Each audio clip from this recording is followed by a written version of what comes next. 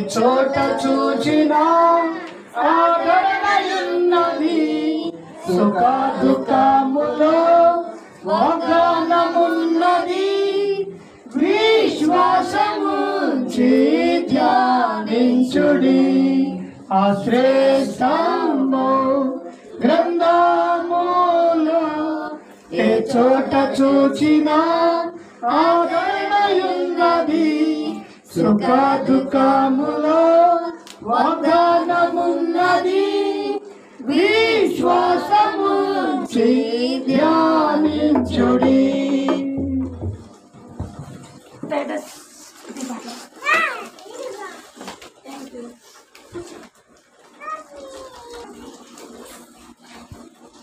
ప్రభు మనల్ని ప్రేమించి మరొక పునరుద్ధాన దినములో దేవుని యొక్క పరిశుద్ధమైన బల దగ్గరకు సమీపించడానికి ఆయన కృపనిచ్చినాడు.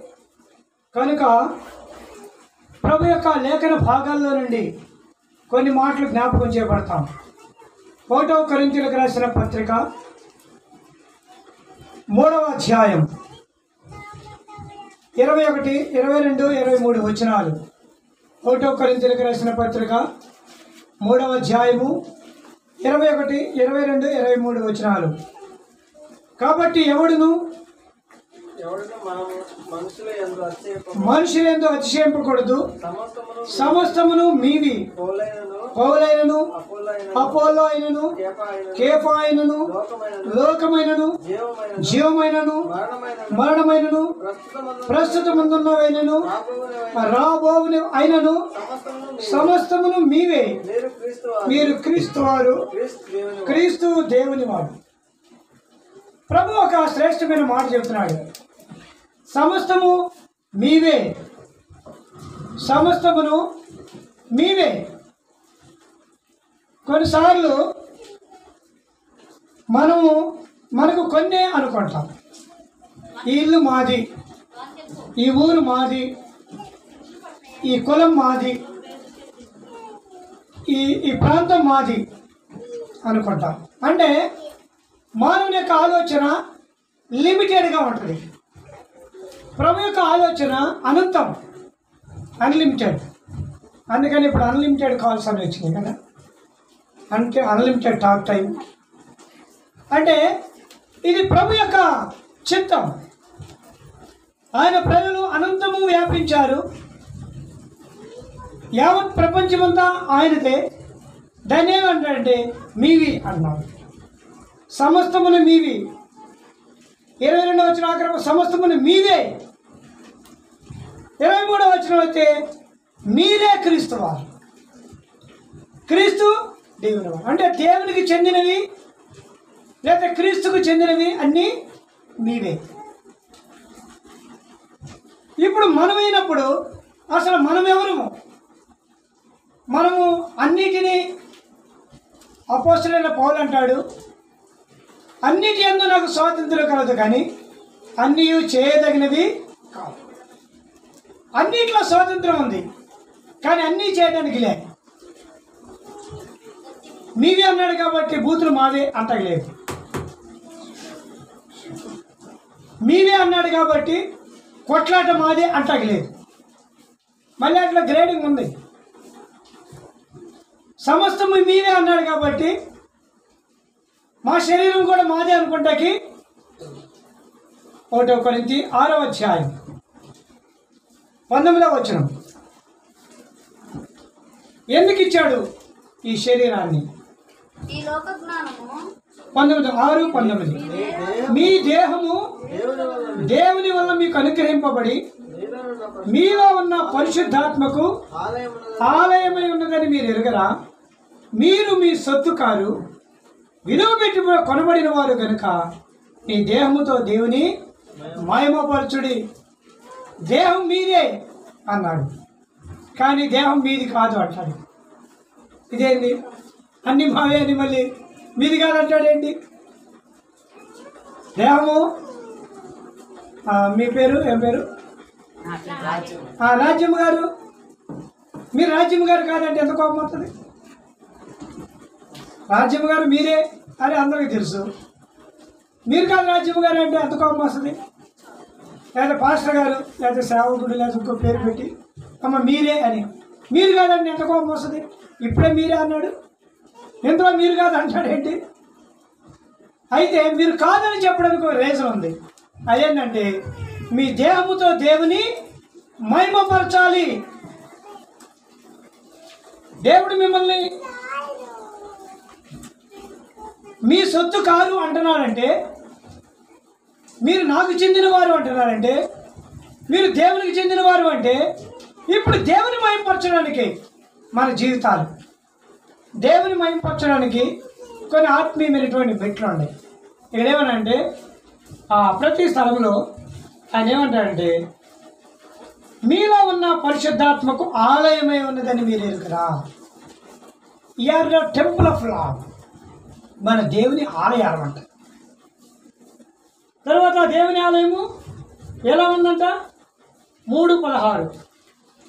ఒకటో కొరింతలకు రాసిన పత్రిక మూడు పదహారు. మీరు దేవుని ఆలయమై ఉన్నారు. మీరు దేవుని ఆలయమే ఉన్నారని దేవుని ఆత్మ మీలో నివసించుతున్నారనియు మీరు ఎదుగరా ఎవడైనను ఎవడైనను? దేవుని ఆలయమును పాడు చేసిన దేవుడు వారిని పాడు చేయను. దేవుని ఆలయం దేవుని ఆలయము పరిశుద్ధ పరిశుద్ధమై ఉన్నది. మీరు ఆ ఆలయమై ఉన్నారు ఈ మూలవాక్యములో మీరు పరిశుద్ధులై ఉన్నారు అంట. అంటే ఆలయము పరిశుద్ధంగా ఉండాలి. అంటే దేహము పరిశుద్ధంగా ఉండాలి.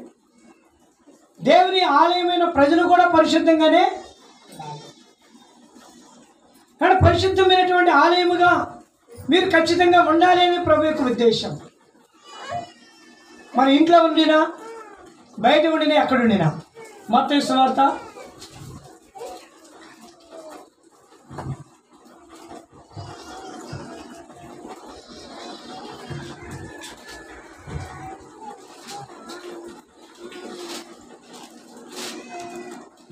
పన్నెండవ అధ్యాయం. ఆరో వచనం.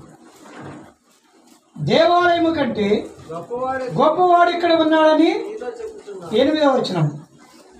కాగా మనిషి కుమార్ మనిషి కుమారుడు విశ్రాంతి దినం విశ్రాంతి దినములకును ప్రభువునే అన్నాడు కాబట్టి దేవాలయం ఎక్కడ ఉంటుంది ఏదో ఒక ఇంట్లో ఉంటుంది? దేహం దేవాలయం దేవాలయం ఉన్నారుగా ఒక ఇంట్లో ఉన్న దేవ దేవాలయం నువ్వు. దేవుని ఆత్మ మీలో ఉన్నాడు. ఇప్పుడు పరిశుద్ధ దినము నీదే. తర్వాత గొప్పవాడైనటువంటి దేవుడు కూడా నీతోనే ఉన్నాడు. కాబట్టి మనం దేవాలయములుగా ఎంచుకోవాలి ఇప్పటికప్పుడే. పరిశుద్ధంగా ఉండడానికి ఇష్టపడాలి. ప్రభు మనతో ఉన్నాడని ఇప్పుడు ప్రభు మనతో ఉన్నప్పుడు మనమే మందిరాలుగా ఉన్నప్పుడు మనం పరిశుద్ధంగా ఉంటామో ఉండమో? ఉండకపోతే పక్కా అడుగుతుంది. ఏమా ఎప్పుడు బైబిల్ పట్టుకొని వెళ్తావు? నువ్వేంది? ఆటగా అట్టగా గలిబిలిగా ఉన్నామని అడుగుతుందా లేదా? ఆ, లేదు. ఆ మందిరం ఉంది. చేపలు ఏమి వేయలేదు పులిపిట్ ఏమి వేయలేదు ఏమీ లేదు. ఏమీ లేదు. ఆ, పిల్లలు అక్కడ నాలుగు రాళ్ళు ఇక్కడ నాలుగు రాళ్ళు పెట్టారు. వచ్చిన వాళ్ళు ఏమంటారు? ఏంటి మందిరం ఏంది? చిరాకు ఉందంటారా లేదా? ఇక్కడ భూ సంబంధమైన మందిరం ఎట్లాగా? ప్రశస్తమైనదిగా ఉండాలో మన దేహం అనే దేవాలయం కూడా దీంట్లో కాసిన నెయ్యి పెట్టుకున్నాం. రాళ్ళు. తర్వాత మందిరం అనేది రాళ్ళతో కట్టబడలేదు వేరే విషయం తర్వాత వస్తాం. అయితే ఈ రాళ్ళు ఉంటాయి. ఏవి రాళ్ళు? అసూయ అనే రాళ్ళు. క్రోధం అనే రాళ్ళు. కొంతమందికి ఏమి టైం పాస్గా ఒక పెద్ద రాయి పెట్టుకుంటారు ఇప్పుడు. ఇళ్ళల్లో ఏనండి ఏమి? టైం పాస్ అవ్వక పెద్ద రాయి పెట్టుకుంటారు. ఏమి రాయి ఇది? థర్టీ ఫైవ్ అనే థర్టీ ఫైవ్ ఎంఎం రాయి అన్నమాట. సిక్స్టీ ఫైవ్ కూడా వచ్చిందండి పెద్ద రాయి ఇక. ఇక రాయి దగ్గర కూర్చొని అబ్బా ఏం ఆనందపడిపోతున్నారు? సో ఇక ఆమె బయటికి రావాల్సిన అవసరం లే. ఈ ప్రక్క నుండి సిక్స్టీ ఫైవ్ రాయి. ఈ ప్రక్క నుండి ఏసీ. ఆ ప్రక్క నుండి ఫ్రిడ్జ్ ఫ్రిడ్జ్లో తాగటం ఏసీలో చల్లగా ఉండటం వీటిలో నుండి నానా చెత్త అంతా లోపలికి స్నేహితుడ సహోదరి కనుక మీరు దేవుని ఆలయం మీరు పరిశుద్ధంగా ఉండాలా? అది దేవుని యొక్క ఉద్దేశం. ఎవడైనా దేవుని ఆలయాన్ని పాడు చేస్తే దేవుడు వానిని కాబట్టి ఆలయం అంటే అట్లా తర్వాత ఒకటో కొరింతలకు రాసిన పత్రిక మూడవ అధ్యాయంలో ఇంకొక మాట అంటున్నాడు. ఒకటో కొరింతలకు రాసిన పత్రిక మూడవ అధ్యాయం తొమ్మిదో వచ్చినాం మేము దేవుని దేవుని జతపని వారు జతపని వారమై ఉన్నాము. మీరు దేవుని మీరు దేవుని వ్యవసాయమును దేవుని గృహమునై ఉన్నారు. Are the field of lord మీరు దేవుని పొలం అంట పొలం ఉన్నవాడు ఉన్నాడు. పొలం గట్టన్ని పొలం లోపలన్నీ చెట్లు పెంచుకుంటా చూసి ఆహా నా పొలం బాగుందంటారా ఎప్పుడన్నా ఏమ్మా వాడు వాళ్ళ తాతయ్య ఇచ్చాడు వాడే కొనుక్కున్నాడు. ఏదో కష్టపడి ఒక పొలాన్ని సంపాదించాడు. ఇప్పుడు ఆ పొలాలన్నీ ముళ్ళ తుప్పలు. ఆ ముళ్ళ ఆ ముళ్ళ తుప్పల మధ్యన ఆ పడుకునే కుక్కలు వీటన్నిటిని చూసి ఆహా నా పొలం బాగుందంటాడా? ఆ పొలంలో ఏదో పంట పండుతా ఉంటే ఏ ఏం చేస్తాడా రైతు? పొలంలో వరి జొన్న మొక్కజొన్న ఏదో ఒకటి. పండుతా ఉందనుకో. కొబ్బరు మామిడో ఏదో పండుతా ఉందనుకో. అప్పుడు ఆ రైతు ఏమంటాడు? ఆ రైతు ఆ పొలాన్ని చూసి "ఆ, చాలా బాగుంది నా పొలం. మొన్న నిన్న నిన్న ఒక ఫంక్షన్ హాల్ దగ్గర. ఎంతే ఉంది జామ జామ చెట్టు? జామ చెట్టు నిండా కాయలే. హైబ్రిడ్ అండి ఎంతే ఉంది? ఎంతమని ఒక కాయ కొద్దామని చేయి పెట్టారు కానీ ఒకవేళ అక్కడికి వచ్చినాడు కోసుకుంటాకి ఆయన పెట్టుకొని ఉన్నాడు రైతు. దాన్ని కోసుకోవచ్చు కానీ మనకెందుకు రైతు లేకుండా మనం పెట్టించే మేలు కూడా తీసుకొచ్చినాను లేకపోతే మళ్ళీ ఆ జాంకాయ లోపలికి వెళ్ళిన తర్వాత నువ్వు నన్ను కక్కు అంటే నేను సగం కక్కలేక రైతుకు చెప్పకుండా తిన్నావుగా నువ్వు?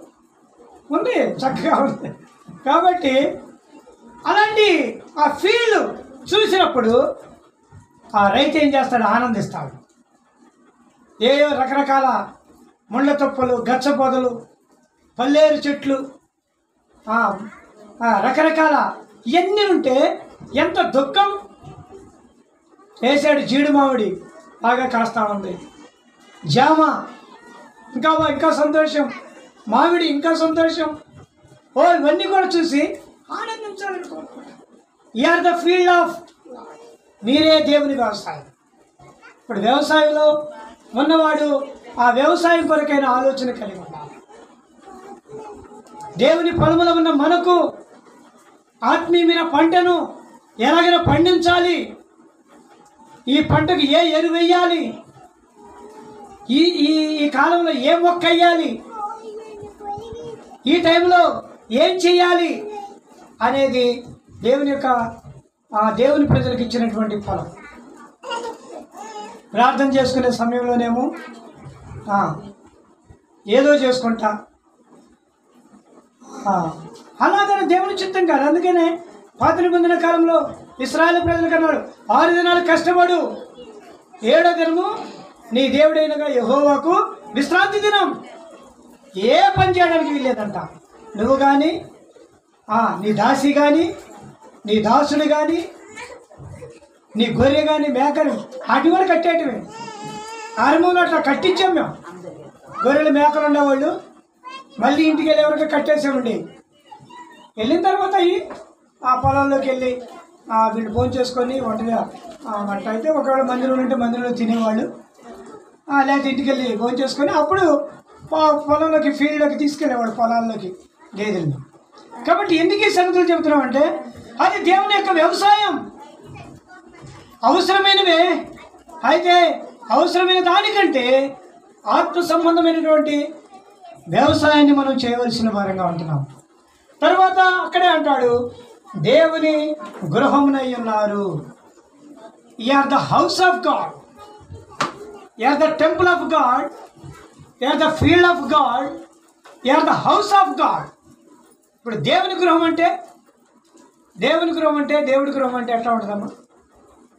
దేవుడి గృహం అంటే అంటే ఆహ్వానించటం ప్రేమించటం పరామర్శించటం పోషించటం ఆదరించటం ఇది దేవుని గృహం. అన్నీ మన మన దగ్గరే ఉండాలి? ఎవరో కష్టంలో ఉంది పక్కింటామా? ఆదరించు అది దేవుని గృహం అవుతుంది. వచ్చిందా? నీకు ఎప్పుడు వస్తుందా? అట్లా వస్తుందా అని చూస్తా ఉండాలి నీకు. అని అంటే అది దేవుని గృహం అవుతుందా. ఆమెకి ఆమెకి ఇట్లా జరగాలండి. అందుకని చూస్తా ఉండే ఇన్ని రోజులు. ఇప్పుడు జరిగిందిగా. ఆ దేవుని గృహం అవుతుందండి. అయ్యో ఇంత కష్టమా? అయ్యో ఇంత బాధ? అయ్యో ఇంత నొప్పా? అని లోపల నుండి ఉప్పొంగే ఆదరణ రావాలి. పోషించే హృదయం రావాలి. పరామర్శించే మనసు రావాలి. ధైర్యపరిచే విశ్వాసం రావాలి. ఇవన్నీ ఎక్కడో పడేసేసి అసలు ఈ మా ఇంట్లో లేవన్నట్టుగా కట్టకట్ట పక్కన పెట్టేసి లేనిపోయినవన్నీ పెట్టుకొని కొంతమంది మాట్లాడుతూనే ఉంటారు సాయంత్రం దాకా మాట్లాడుతూనే ఉంటారు. ఇద్దరు ఇద్దరు కూర్చుంటారు ఇద్దరు కొద్దిగా కూర్చొని మాట్లాడుతారు. సాయంత్రానికి వచ్చి ఏం ఏం మాట్లాడు ఏం మాట్లాడుకున్నాడు? ఏ ఎందుకు మాట్లాడుకోవాలి? అది ఫైనల్గా వాళ్ళు చెప్పే మాట ఏంది? ఏదో మాట్లాడేమనండి ఏం మాట్లాడారు? ప్రయోజనం లేనైతే ఏదో అర్థం. ప్రయోజనం అయితే నిజమేనండి వీటి గురించి మాట్లాడాను కాబట్టి అలాంటిది దేవుని గృహం. ప్రయోజనాత్మకమైన మాటలు ఏంటంటే ప్రార్థన ఒకటే. ఏం పని లేదు. నీకు ప్రార్థన చేసుకోవచ్చుగా? ఏమా నీకు ఇంట్లో ఏం పని లేదు. కొంచెం ప్రార్థన చేసుకోవచ్చుగా? దేవుని గృహం అవుతుంది. లేదు ప్రేరేపించబడ్డావు. మందిరానికి వెళ్ళి కొంచెం కూర్చొని అక్కడ మందిరంలో ఏదైనా పరిచర్య చూడవచ్చుగా ఏంటండి రేపు వారం ప్రార్థన ఏంటి పరిచర్య ఏంటి సువార్త ఏంటి అడగొచ్చుగా? అది దేవుని గృహం దేవుని గృహం మనమే. ఇది ఇది మర్చిపోయి అనుకోండి ఆ మందిరానికి వెళ్ళినప్పుడే మందిరం గుర్తొస్తుంది. ఈ మధ్యకాలంలో అప్పో ప్రభు అంటాడు నీ ఇంటిని కూర్చున్న ఆసక్తి నన్ను భక్షించుతున్నది అంటాడు ఎప్పుడంటే అక్కడంతా కొరడాలు అది మామూలుగా గువ్వలు అమ్మేవాళ్ళు పావురాలు అమ్మేవాళ్ళు రోకలు మార్చేవాళ్ళు ఎద్దులు అమ్మేవాళ్ళు వీళ్ళందరూ చూసి మనసు పరితాపం తప్ప పట్టలేకపోయిందంట. నీ ఇంటిని కూర్చొని ఆసక్తి మనసు అంటే ఇవి నా లోపల లేవు కాబట్టి బయట నువ్వు సహించలేవు. ఈ లోపల నేను ఈ cunning cunning cunning mind. Cunning mind అంటే ఏమంటారు దాన్ని? కన్నింగ్ కన్నింగ్ అంటే అంటే కుయుక్తితో కూడిన మనసు. ఇది లోపల ఉందనుకో. అవతల వాళ్ళది అవతల వాళ్ళు మంచి మనసును మేము అర్థం చేసుకో. ఎందుకంటే ఎప్పుడు నువ్వు కుయుక్తితో ఆలోచిస్తావు కాబట్టి వాళ్ళు కూడా నిన్ను ఎట్టాగా ఆలోచిస్తున్నారు అనుకుంటాం. యశ్ ప్రభు అందుకన్నాడు నీ కంటిలో నలుసు ఉండగా ఎదుటివాని కంటిలో దూరం గురించి నీకెందుకు? కన్నే గరగరం అంటుంది. గరగరం అనే కన్నేమో నలుపుకోవు. అవతల దూరం ఉందంటే దూరం సంగతి నీకెందుకు? అంటే నీ నీ కంట్లోనే దూరం ఉంది. సారీ నీ కంట్లోనేమో దూరం ఉంది. అవతల కంట్లో నడుస్తుంది నేను రివర్స్లో మాట్లాడతాను నీ కంట్లోనే పెద్దది ఉంది. అవతల కంట్లోనేమో ఇప్పుడు నీకు పెద్దది బాధలు ఉంటుందా? చిన్నది బాధగా ఉంటుందా? కాబట్టి దేవుని గృహం అనేది థింక్ పాజిటివ్ మంచిగా ఆలోచించు. ప్రభు నన్ను ఇంకా వాడుకో. ప్రభు నన్ను ఇంకా బలపరచు. ప్రభు నన్ను ఇంకా స్థిరపరచు అని ప్రభు దగ్గరికి వెళ్ళి ఒక నూతనమైన వ్యక్తిగా చేయబడు. అది ప్రభు కోరుకునేది. కాబట్టి మొట్టమొదటి మీరు దేవుని ఆలయం. రెండవది మీరు దేవుని వ్యవసాయం. మూడవది మీరు దేవుని ఆ, గృహం. నాలుగవదిగా రండి. పేతులకు రాసిన మొదటి పత్రిక.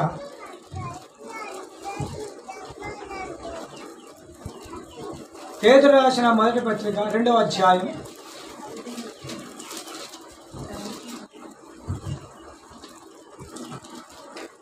పదో తొమ్మిదో ఆరో వచ్చినాం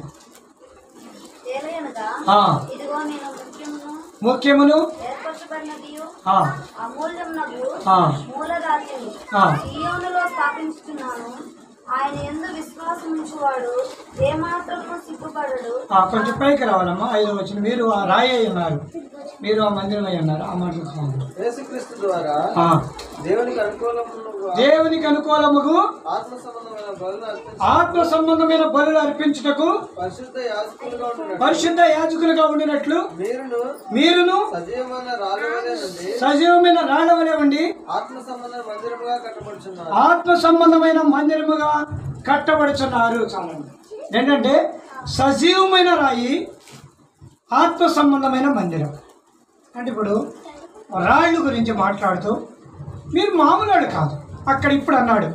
ఏమన్నాడంటే ముఖ్యమైన రాయి తర్వాత ఏర్పరచబడిన రాయి మూడవది అమూల్యమైనటువంటి రాయి తర్వాత సియోనులో స్థాపించబడిన మూలరాయి అంటాడు యశయా గ్రంథం ఇరవై ఎనిమిది అధ్యాయం పదహారు వచ్చిన కాబట్టి ఈ మాటలు మనకి ఏంటంటే we are the selected and elected and chosen అన్నట్టుగా మనకు కనపడతా ఉంది.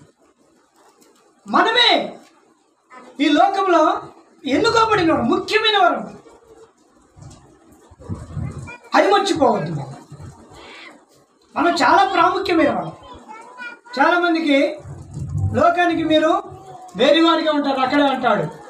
ఆ, పేతురు ఆ, ఒకటో వచ్చే తిమోతి రోజు మూడో అధ్యాయంలో అంటాడు. లోకానికి మీరు వేరుగా కనపడతారు.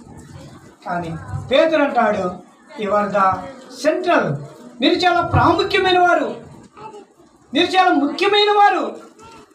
తర్వాత మీరు చాలా ఏర్పరచబడిన వారు చూసాను మనలో మన బంధువులు రక్త సంబంధికులు ఎంతో ఉండాలి. వాళ్ళలోనండి ఆ, నీ పేరే ఎందుకు నిన్నే ఎందుకు బయటకు తీసుకొచ్చాడు? నిన్నే ఎందుకు తీసుకొచ్చాడు బయటికి?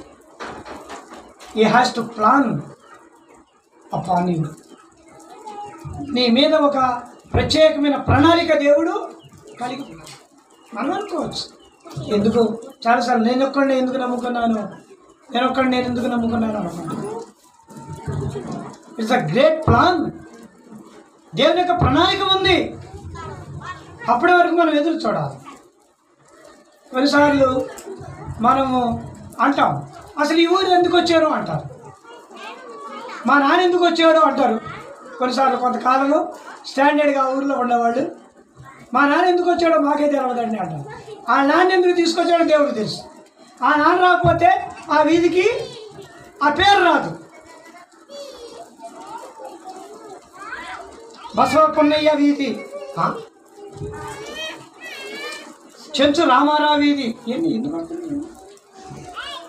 ఆయన ఆయన అక్కడ పుట్టకపోతే ఆ వీధికి ఆ పేరు ఎట్టా అవుతుంది so it's a God's plan.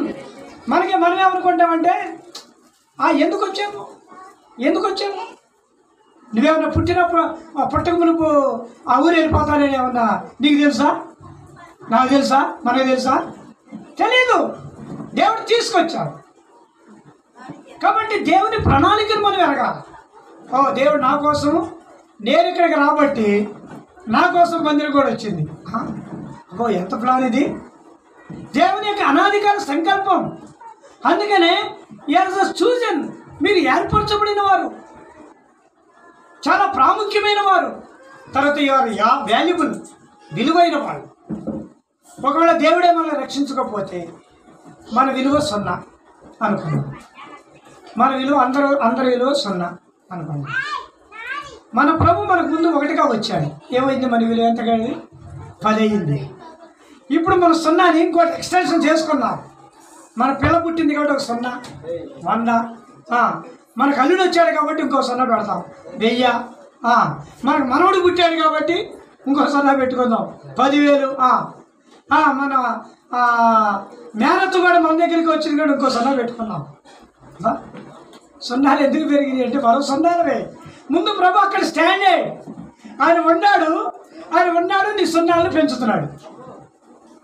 ఇది రహస్యం. ఇట్ ఈస్ అవర్ వాల్యూస్ కాబట్టి మనం అమూల్యమైన వారము. మూడవది ఇది స్థాపించబడి దేవుడు మనల్ని ఇక్కడ స్థాపించడం అనేది ఈ స్థానంలోకి తీసుకురావడం అనేది దేవుని యొక్క అపారమైన ఉద్దేశం. కాబట్టి ఇప్పుడు బ్రహ్మ అంటున్నాడు మీరు దేవుని ఆలయమై ఉన్నారు. రెండవది మీరు దేవుని వ్యవసాయమై ఉన్నారు. మూడవది దేవుని గృహమై ఉన్నారు. నాలుగవది దేవుని సజీవమైన రాయి అయి ఉన్నారు. దేవుని రాళ్ళు అంటామా మన పేరు ఏంటంటే మీ పేరు రాసి పక్కన దేవుని రాయి అని రాసుకో. ఎంత బాగుంటుందో. కోపం వస్తుంది కదా? మన పేరును ఐఏఎస్ అని పెట్టుకుంటే బాగుంటుంది అనిపిస్తుంది. మన ప్రక్కన ఇంకా ఆ, డిప్యూటీ స్పీకర్ అని పెట్టుకుంటే బాగుంటుంది అనిపిస్తుంది కదా. మన మన పేరు పక్కన మండల్ రెవెన్యూ ఆఫీసర్ అని పెట్టుకుంటే బాగుంటుంది కానీ ప్రభు అంటే నీ పేరు పక్కన సజీవమైన రాయి లివింగ్ స్టోన్ అని పెట్టుకుంటే ఎంత బాగుంటుంది? దేవుడు పెట్టుకోవడానికి ఎవరైనా ఇష్టపడతారా? ఫ్రాన్సిస్ బ్రాకెట్లో లివింగ్ స్టోన్ అని ఎవరికి అర్థం కాదు ఏంటి లివింగ్ స్టోన్ ఏంటి? సజీవమైన రాయి ఏంటి? మతి లేదా ఇవి కనుకుంటారు లోకానికి అట్లా ఉంటుంది. కానీ ప్రభు ఏమన్నాడంటే అదే నీకు కావాలి. నువ్వు అలాగనే ఉండాలి. అలా ఉంటే బలంలో నువ్వు రావడానికి హక్కు ఉంది నువ్వు సజీవమైన రాలేకుండా లేకుండా బలలో పాల్గొనటం నాకు సంతోషము. ఈసారి యేసు ప్రభారే చెప్పిన మాట చెప్పు. యోహాను స్వార్త పదిహేను అధ్యాయము. పౌరు ఇంకెన్నో చెప్పాడు పేతులు ఎన్నో చెప్పాడు. ఇప్పుడు టైం లేదు కనుక అన్నీ చెప్పలేము. యో యోహాను స్వార్త పదిహేను అధ్యాయం మొదటి వచ్చినాం యోహాను స్వార్త పదిహేను అధ్యాయము మొదటి వచ్చిన నేను నిజమైన ద్రాక్ష నేను నిజమైన ద్రాక్షవల్లిని నా తండ్రి వ్యవసాయ నా తండ్రి వ్యవసాయకుడు. నాలో ఫలింపని ప్రతి నాలో ఫలింపని ప్రతి తీగ ప్రతి తీగను. ఫలించు ప్రతి తీగ. మరి ఎక్కువగా ఫలింపవలనని దానిలోని పనికిరాని తీగలను తీసివేయను. నేను నీతో చెప్పిన మాటలు బట్టి. మీరిప్పుడు పవిత్రులై ఉన్నారు. ఐదో వచనం. ద్రాక్షావళిని నేను తీగలు మీరు. ఎవడు నా ఎందు నిలిచి ఉండును? నేను ఎవరు ఎందు నిలిచి ఉండును? వాడు బహుగా ఫలించును. నాకు వేరు. నాకు వేరుగా ఉండి చేయలేరు. నేను ద్రాక్షావళిని. మీరేమో బ్రాంచెస్ అన్నమాట. ద్రాక్ష ఎలా ఉంటే దానికి తీగలు వెళ్తా ఉంటాయి. హైదరాబాద్ ఏరియాలో చూస్తే మీకు ఎక్కువ ఈ ద్రాక్ష తోటలు కనపడతా ఉంటాయి. అన్ని పందిర్లే. వెళ్ళిపోతా ఉంటాయి. ఏమి కారణం? అది ఇంకా ఫలించాలి ఇంకా ఫలించాలి ఇంకా ఫలించాలి అది ప్రభు యొక్క ఉద్దేశం. ఆ యజమానుడు కోరుకునేది ఏంటంటే ద్రాక్ష వేయగలనే కారు ద్రాక్షను చేరు చేదు ద్రాక్షను ఫలించాలనుకుంటారా అన్నాడు. ప్రభు నేను ద్రాక్షావళిగా నిక్కమైన ద్రాక్షావళిగా నిన్ను చూడాలంటే నువ్వు కారు ద్రాక్ష వచ్చిన కాసావు నీకోసం బురుజులు చుట్టా. నీకోసం వెరువేశా. నీ కొరకు కావలి గారిని పెట్టా. కానీ నువ్వు కారు ద్రాక్ష కాసా. కాబట్టి బల దగ్గర జ్ఞాపకం చేసుకుంటున్నావు నేను నిజమైన ద్రాక్షావళిని ఏ టేస్ట్ అయితే నాలో ఉందో ఆ టేస్ట్ నీలో ఉండాలి. ఏ రూపం అయితే నాలో ఉందో ఆ రూపం నీలో కనపడాలా. ఏ మంచితనం నాలో ఉందో ఆ మంచితనం నీలో ఏదైతే నాకుందో అది నీకు కావాలి. అర్థమవుతుందమ్మా? ప్రభు కోరుకునేదేంటి? నావన్నీవి నా మీవి మీవి మీవి అండి మీరే అని చెప్పడం వల్ల కారణం ఏంటంటే నన్ను చూడగానే మిమ్మల్ని చూడగానే నన్ను చూడాలి. అబ్బా భలే మంచి మాటలు మాట్లాడుతుంది మంచి మంచి ఆత్మీయతను మంచి సమర్పణ జీవితాన్ని కలిగి ఉందని చెప్పాలి. ఈ మధ్యాహ్న పిల్లలు ఇక్కడ కూర్చుండినా బయట వింటున్నా బయట చూస్తున్నాను ఎవరైనా కావచ్చు? ప్రభు నిన్ను ద్రాక్ష తీగగా చేయాలని కోరుకుంటూ ఉండగా బహుగా ఫలించే వ్యక్తిగా చేయాలని తండ్రి మైపరచబడే రీతిలో ఉండాలంటే నాకు వేరుగా ఉండి నువ్వేమీ నాకు వేరుగా ఉండదు వేరుగా ఏం చేయొద్దు. వేరుగా చేయటం అనేది అది చాలా కఠినమైన శాపగ్రస్తమైన మనసు. ఏ? ఎంతకాలం దేవుడే ఇచ్చాడా? దేవుడే ఇచ్చాడనేసి అది? దానికన్నా ఎంత దేవుడే ఇచ్చాడా అనేది ఎంత తేడా ఉంటుంది? దేవుడిచ్చాడు అనే దాంట్లో మనసు కృతజ్ఞత బాగుంటుంది దేవుడిచ్చాడా అనే దాంట్లో గొప్ప శత్రు మనసు ఒక్కదాని కానీ ఇది ఆయనే చేశాడా? ఇది ఆయనే ఇచ్చాడా? ఇది ఆయనదేనా అని అనిపిస్తే అన్నీ నీకు అట్లాగే కనపడతాయి. పచ్చకామరిలోడికి లోకమంతా? పచ్చగానే ఉంటుందంట. మంచిగా చూసేవాడికి అంత మంచిగా కనపడాలి అంటే ప్రభు రాబోతున్నాడు ఫలిద్దాం. ప్రార్థనలో ఫలిద్దాం. విశ్వాసంలో ఫలిద్దాం. సమర్పణలో ఫలిద్దాం. పరిశుద్ధతలో ఫలిద్దాం. నిర్మాణంలో ఫలితం చక్కగా కట్టబడదాం. చూడగానే అక్కడ నుండి చూడగానే బాగుంది ఇల్లు అన్నట్టుగా కనపడదాం. ప్రభు కొరకు స్థిరమైన ఇల్లు ఈ వ్యక్తి అని చెప్పగలిగిన విధానంలో మనం మనం కట్టుకున్నాం. మంచి వ్యవసాయంగా కనపడతాం. మంచి దేవాలయంగా కనపడతాం. దేవుడే నివసించే ఆత్మీయమైన స్థైర్యం ధైర్యం కలిగిన వారిగా జీవితాం అప్పుడు ఒకటో కొరింత పదకొండో అధ్యాయంలో ఎవడు యోగ్యుడిగా మనలో పాల్గొంటాడో వాడు బాగుంటాడు. ఎవడు అయోగ్యంగా పాల్గొంటాడో వాడు ప్రభు యొక్క శిక్షావిధి కింద పెట్టాడు నా శరీరం నన్ను జ్ఞాపకం చేసుకుంటూ విధించాను నా రక్తం నన్ను జ్ఞాపకం చేసుకుంటూ చేయండి యోగ్యకరంగా నా శరీరంలో చేయండి ఇది ప్రభు కొడుకునేది అందుకనే ప్రతి వారము ప్రభుల ఆత్మీయంగా ఎదుగుట కొరకై ఫలించుట కొరకై ప్రభు యొక్క మహిమ కొరకై మనము ఈ కార్యాన్ని దైవ లేఖనానుసారంగా అనుసరిస్తుంటున్నాము. డైజర్ బక్సింగ్ గారి ద్వారా ప్రపంచం అంతటికి ఇది అనుగ్రహింపబడింది. దాన్ని మనం చేయగలుగుతున్నాం. సరి చేసుకుందాం. ప్రభు తీగలాగలేను ప్రభు రాయిలాగలేను. ప్రభు ఇల్లు లాగలేను పొలం లాగలేను ఆలయం లాగలేను నన్ను అలాగన కట్టమని అడిగితే ఆయన మరలా తిరిగి కడతాడు.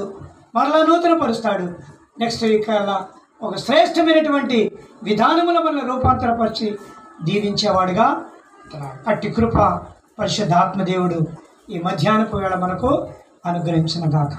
ఆమె ప్రార్థన చేసుకొని ప్రభు బదులు ప్రవేశిద్దాం.